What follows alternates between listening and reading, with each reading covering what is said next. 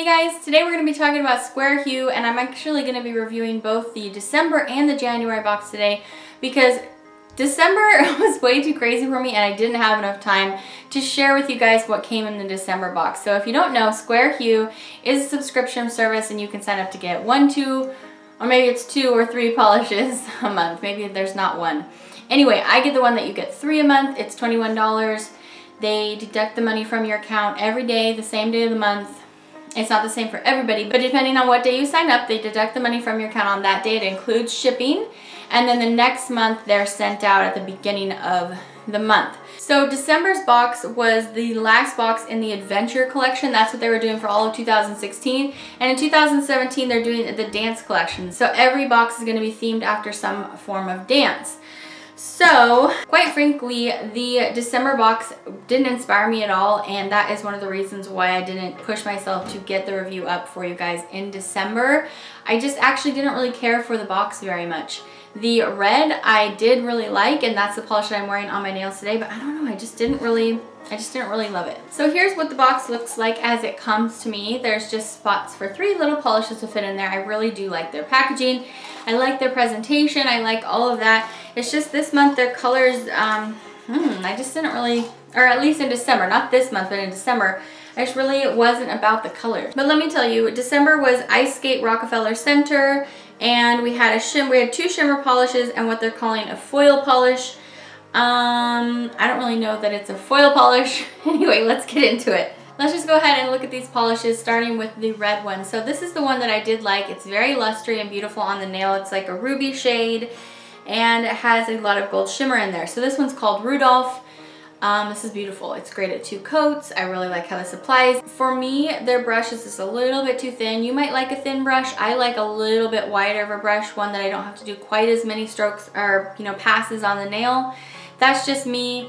Um, it just, it makes me feel like I can get a more, a sm better, smoother coverage on the nail. I really did like the beautiful gold shimmer in this polish, how it plays with the red. So definitely, this was my favorite. The next polish is this very um, like bronzy antique gold shade.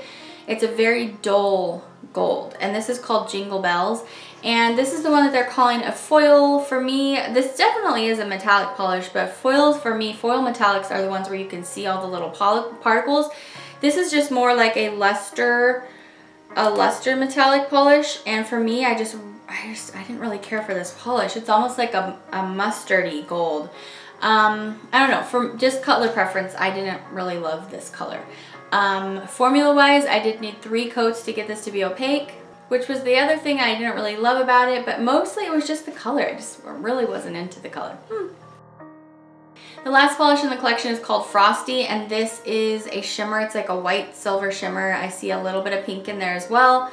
This, for me, unfortunately, is a, is a little bit of a throwaway shade. I'm not sure. It's just, it's so timid. The shimmer in here is just very light and timid. So if you're looking for just the, like the tiniest little dusting of shimmer as a topper on your polish, then this may be the polish for you. But for me, it was just, it was just almost like there was nothing there to this polish. I tried it on its own. You can't really wear it on its own. So I put it as a topper and it's just really, really bland. We're to move on now to the Tango collection, which I did like a little bit better. And um, if you didn't know that Square Hue donates some of their profits every each month to stop human trafficking. So that is something good to know about them. And um, let's get on to this collection. So we again have two shimmers here and then we have a hollow jelly.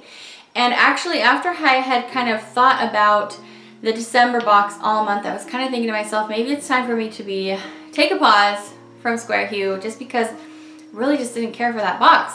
And then I tried this one and I like two out of three. And I really like that they put some hollow in here. So that made me decide I'm gonna go ahead and try the next box because they won me over a little bit with the shades in this collection and just that they were a lot better than the last, last collection.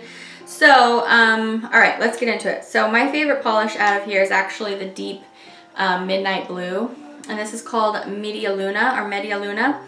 And this one is, it's described as a shimmer. It is a shimmer. It's just more like a, uh, it's more like a luster to me. It's a luster cream. and it has a little bit of shimmer in it.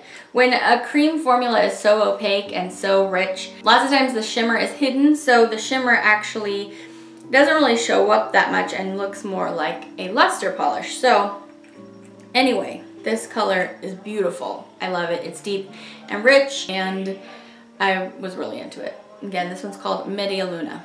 The next polish in the Tango collection is called Golpe. I'm not sure if I'm saying that right. G-O-L-P-E. And this one is like an icy gray blue with um, very light, is it silver or gold shimmer in there? It might be gold. It's very, very light though. This polish, even though I love gray blues, I just wasn't into this one very much. I don't know what it was. For me, it was just probably totally color preference. There was just something about this where because it was like a little bit on the metallic side, I wanted it to be richer. But again, this was like timid. So I don't know, just for me, preference wise, I didn't really love this one. The last one out of the collection is the Hollow Jelly, and this one's called La Parada. And as you can see, this is a nice bright orange, and it's definitely a jelly. This is going to be a shimmer, this is going to be a sheerer formula, but I do love that it has lots of scattered hollow in there. And um, I like the orange and the blue combination together. Those are opposites on the color wheel and so they do look really nice together. I like that they put those in here together. So it really wakened the collection up to have this one in here for me. This one, I thought to myself, well, this is gonna need to be a topper after I did one coat because it was kind of goopy. This is actually pretty thicker polish, probably just by nature of the components that they included. Um, but I was patient and I went ahead and did the three and I thought it was nice on its own at three. So you could totally wear this at three coats or you could wear this as a topper, whichever one you like if you don't want to do a ton of coats. Um, but I did like it. I thought it was pretty and with a color like this without being, you know, if it's not absolutely opaque, it was okay with me. So um, this is another one that I did enjoy. Alright guys, so I hope you enjoyed looking at those two collections with me. Let me know if you tried this collection and what your favorite one was. If you've never even heard of Square Hue before or been wanting to try it, I will leave all the information in the description bar below where you can click on it.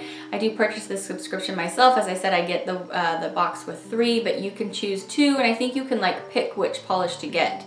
And they changed it at the new year or something. You don't um, just have to get whatever they want. They show you the three colors and then you can pick the two that you want like that. Um, so that's going to be it. I hope you found this helpful. I love you guys. Thanks for spending some time with me coming to hang out for this review. I'll see you back for the next one. Take care. Bye.